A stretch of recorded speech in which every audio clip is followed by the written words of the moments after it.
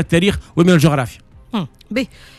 حكي قال لم نرسل كعرب حتى قارورة مياه لغزة. الدكتورة رفعت طبيب. سيد العميد أنا نقول لك واشنطن ترسل غواصة للكيان العدو.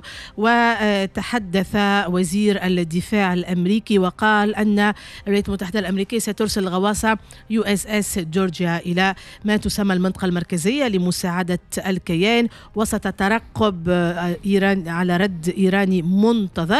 يقول آه، البنتاغون على أنه يواصل مراقبة الوضع في المنطقة عن كثب ويعمل على تهدئة التوترات.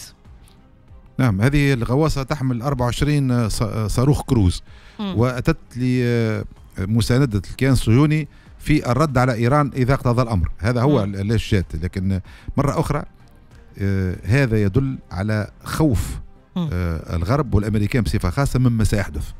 هذا يسموه بالفرنساوية لانتيسيباسيون يعني يعني الاستباق. آه، استباق الأحداث لأنه يعرفوا آه، حجم الضرر الذي يمكن يحدث للكيان في حالة هجوم مضاد من الإيرانيين ومن المقاومة اللبنانية متزامنا على الكيان الصهيوني وقد بدأ خاطر بالنسبة للمقاومة اللبنانية بدات ترمي الآن ب 50 60 صاروخ على مناطق بعد على بعد 38 كيلومتر من الحدود.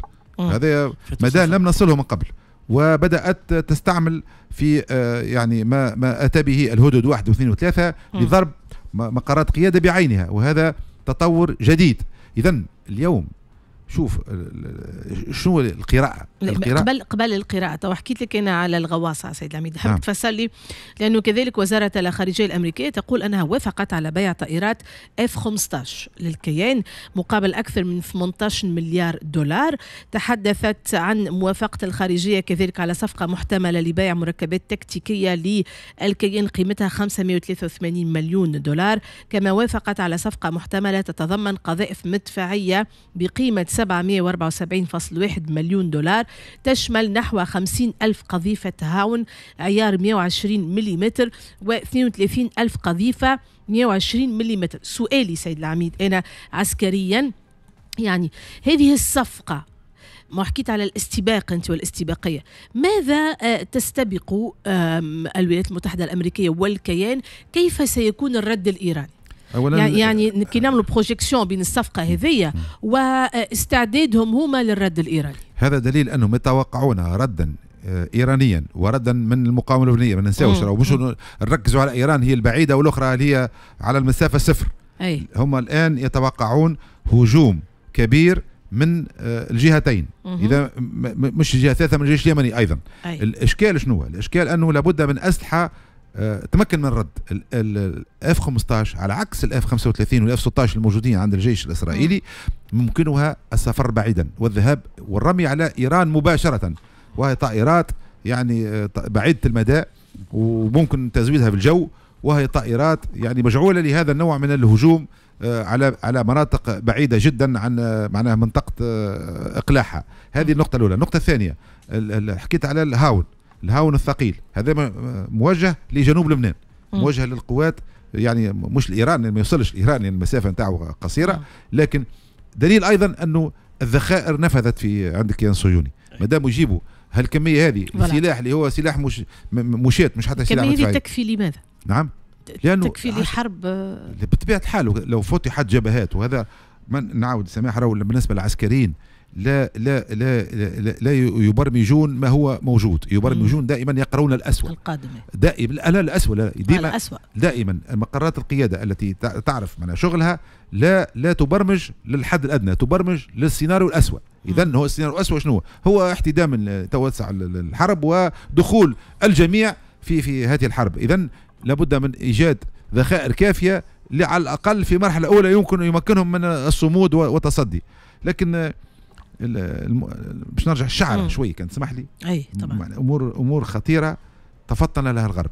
مم. الآن لما قلنا أنه آه، حيدوا الدبلوماسي وجاءهم الصقر أول شيء فعله الصقر اختار القتال. مم. وهذه طامة كبرى على الغرب والصهاينه لأنه كانوا يظنون أن الضغط الذي أحدثوه منذ عشرة أشهر سيثني آه، يعني عزائم المقاومة الفلسطينية وسيجعلها يعني آه، تأتي وتقبل بشروط نتنياهو. لكن اليوم ما هو هذا القرار؟ القرار أني سأواصل الحرب. اثنين رجعنا توا للام 90 تعرف شنو الام 90 صاروخ الفلسطيني بعيد المدى الذي ضرب تل أبيب. عشر أشهر وأنتم تمشطون قلبتم الحجر والأرض والتراب ودمرتم 90% من من من غزة.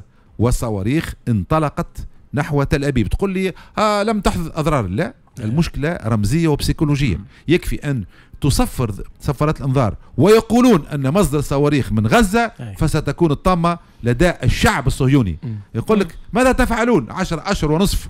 وأنتم قلبتوا الدنيا ودمرتم وقتلتم. وأخيرا النتيجة شنو لقد قلت ذهبنا لاجتثاث حماس وإيقاف الرمايات على الكيان الصهيوني. والصواريخ ام 90 مش اللي تجي.